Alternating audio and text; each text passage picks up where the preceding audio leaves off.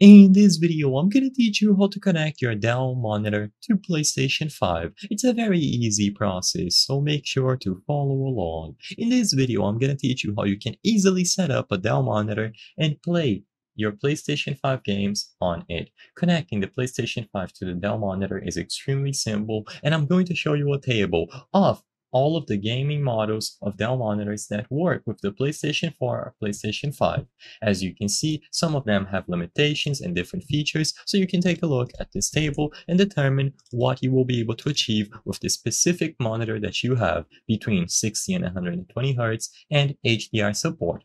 So with this out of the way, once you have taken note of all the gaming models available for Dell monitors, all that you have to do to plug your Dell monitor to your PlayStation 5 is to plug the cable into the monitor and the other end into the PlayStation 5. Because the PlayStation 5 does not have display port ports, you will have to use HDMI. So plug an HDMI cable into the PlayStation 5 and you will be able to plug the other end of the cable into the monitor. So depending on what the monitor uses, you will need a different cable. So for example, if you are using HDMI on both the PlayStation 5 and the Dell monitor, just pick an HDMI to HDMI cable. But if you are doing HDMI for to DisplayPort for whatever reason, you will need that cable instead. Just make sure that you connect the monitor to the PlayStation 5.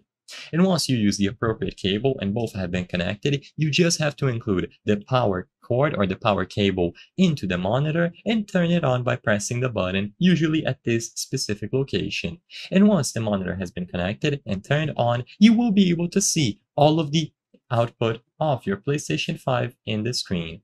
I hope I was able to help you on how to connect Dell monitor to PlayStation 5. If this video helped you, please be sure to leave a like and subscribe for more very easy tips. Thank you for watching.